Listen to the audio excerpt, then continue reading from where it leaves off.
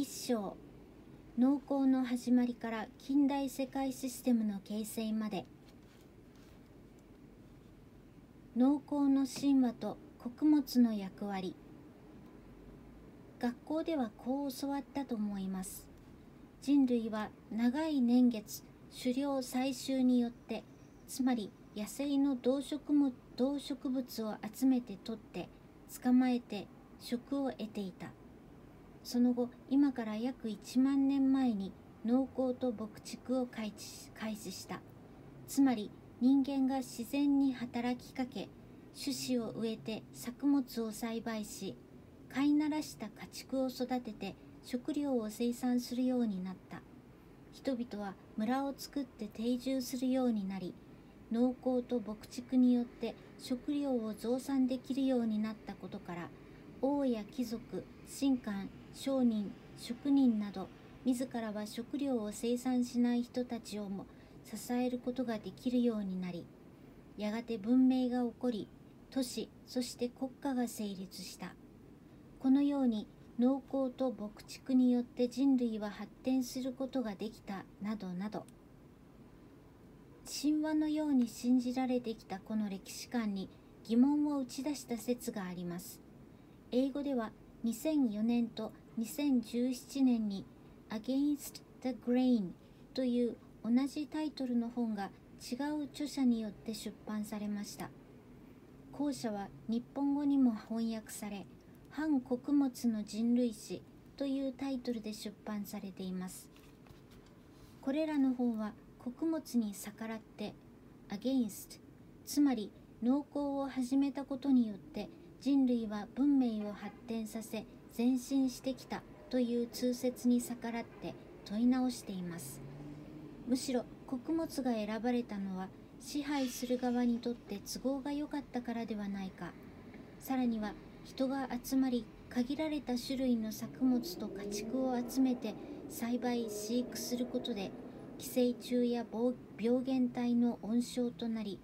人間も作物も家畜も逆に不健康になったのではないかと考えてみてください。この地球上には人間が食べられる植物は多種多様に存在するのになぜ小麦大麦米トウモロコシという4つの作物が主食と呼ばれ世界のカロリー消費の過半数を占めるほどになったのでしょうか？多様性に富む方が自然にも人にも健康のためには望ましいのに作物も動物も人間も単一栽培や家畜化や都市化によって密になることで病原体の繁殖と変異を許してしまうのに。胃袋を満たすという目的のためには穀物より芋の方が早く楽に大きなでんぷんの塊を育てることができるでしょう。食べる時も洗って焼くか蒸すかすれば食べられるので簡単です。一方穀物はもっと長い月日をかけて小さな種子を栽培し脱穀して穂から粒を外して硬い殻やゴミや異物を取り除いてやってみると分かりますがこれは大変な作業です。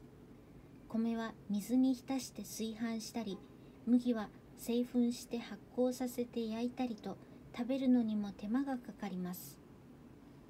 でも硬い殻に包まれた軽い種子である穀物の方が腐らせることなく長期間保存でき大量の穀物を溜め込むことやずっと遠くから輸送して集めることができました。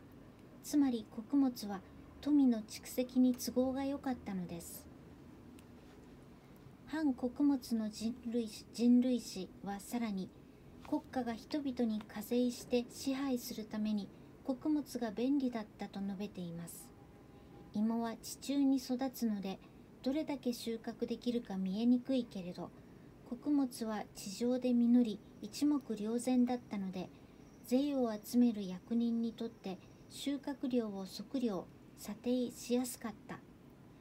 穀物の方が一斉に実って隠されず確実に徴税できてしかも小さな粒なので重さや体積で正確に測ることもできた。税として集めた穀物を国家のために働いた軍隊や奴隷に分配する時も好きな量で正確に配布できた。もちろん穀物の方が貯蔵できて輸送できたことも徴税する国家にとって都合が良かったと。こうして支配する側にとって富の蓄積と課税に便利だった小麦。大麦米トウモロコシなど数種類の穀物を主食として支配下の人民や奴隷に生産させて軍隊を養って国家が成長したと。穀物の役割については議論がつきませんがとりあえず主食と呼ばれる食料ですら自然や人の胃袋が選んだというより昔から政治経済に組み込まれた政治的作物反穀物の人類史だったことに気づいてもらえたら嬉しいです。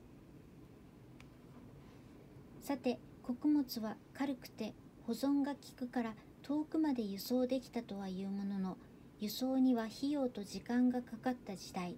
しかも都市部の富裕層を除いて大多数の人たちが農村で自給自足的に生活していた時代に庶民が日常食べる食料を遠くまで貿易することはありませんでした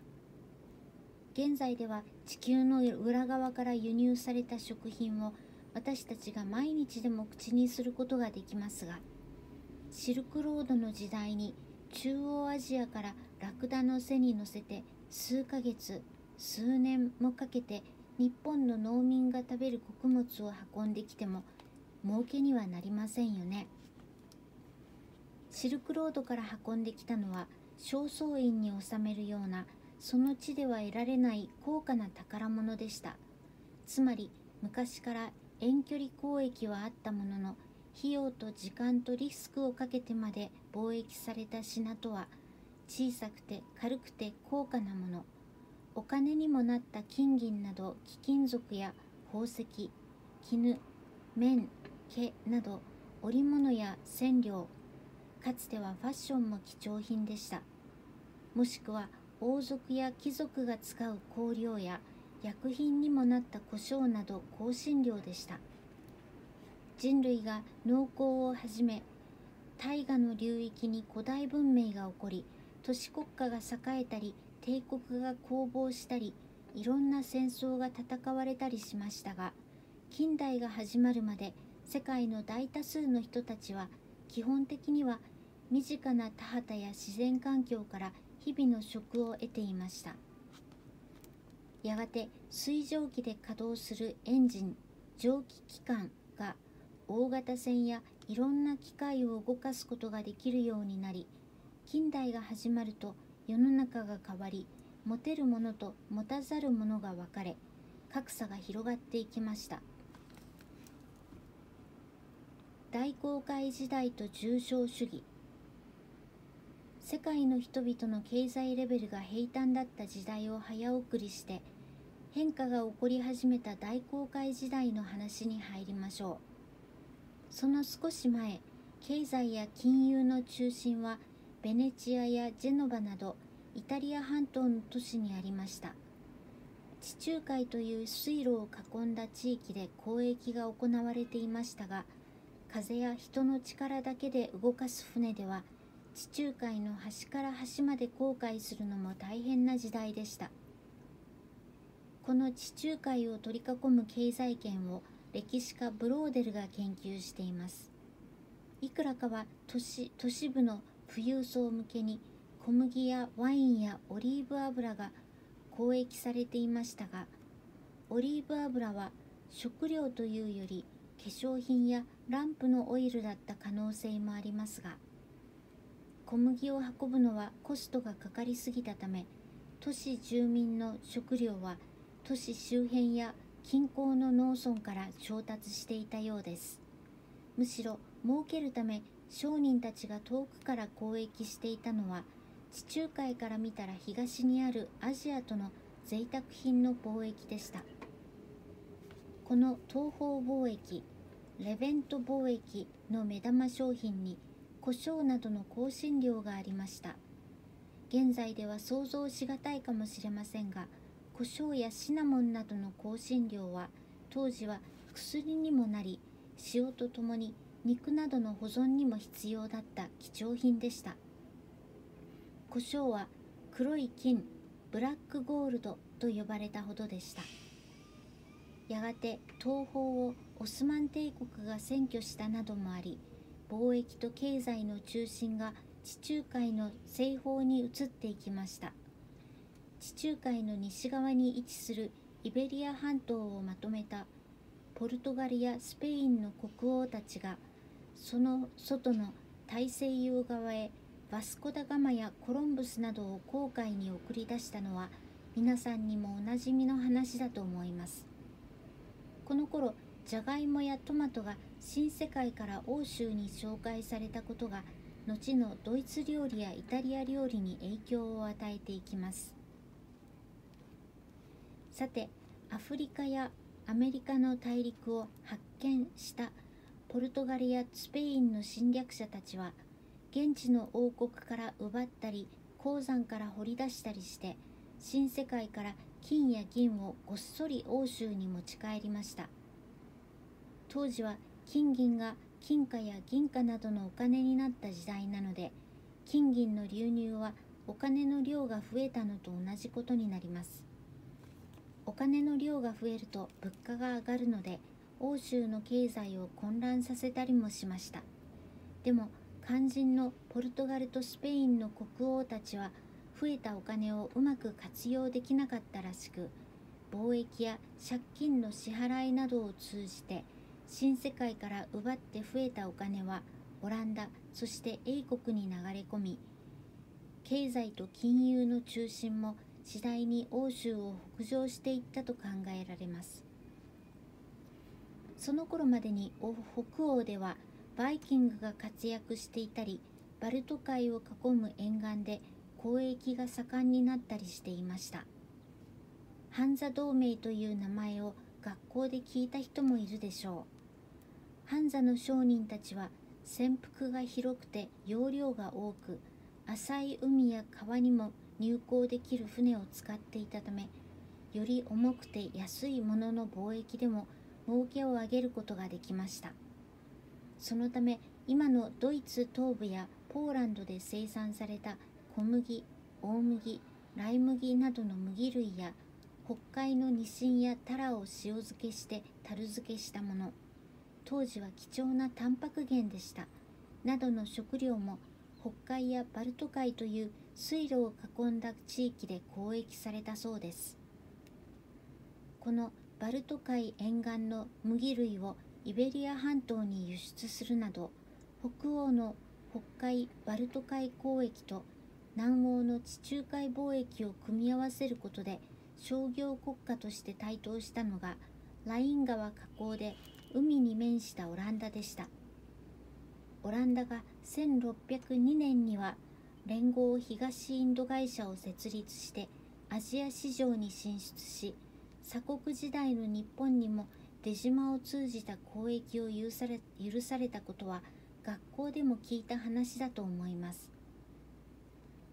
英国も1600年に東インド会社を設立し頭角を現してきました。この頃の欧州諸国は大航海で世界に進出し重商主義によって発展しました。重商主義とはいかにも貿易を盛んにして国を繁栄させたかのように聞こえますが実は大航海で発見した新世界からの略奪に基づく富の蓄積でした。ざっくり言うと重商主義とは金銀がお金だった時代に新世界や植民地から金銀を奪ってきてさらに植民地からほとんど奪ってきた資源人間奴隷を含むなどを貿易してその貿易黒字として金貨銀貨を本国に溜め込む。その貿易も絶対王政の国王たちが東インド会社など一部の商人に特権を与えて国府を増やそうとしたり本国に有利になるよういろんな制約や関税をかけたりした不自由不平等な貿易でした。貿易といっても当時は海賊や軍隊など武力を使って略奪したり征服したり暴力的なものも多くありました。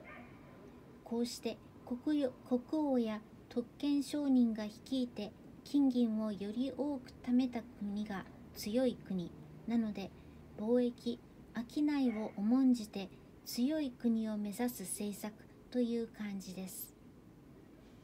このように新世界から溜め込んだ富も起爆剤として革命と呼ばれるほど急激に産業を発展させたのです。奪った側の欧州が先進国となる一方富や資源や人材奴隷を奪われて地元経済社会を破壊された植民地が後進化低開発化 underdeveloped とされた傷跡はその後の歴史にも大きな影響を与えました。ウィリアムズの資本主義と奴隷制は奪われた側からの歴史を描いた一冊です。後に途上国となった元植民地についてはこの本でもまた後でお話ししますやがて海外から鉱物や資源を奪ってくるだけでなく本国で工業を育てその原料と市場を海外に求めて自由に貿易する産業革命と自由主義の時代へと移っていきました。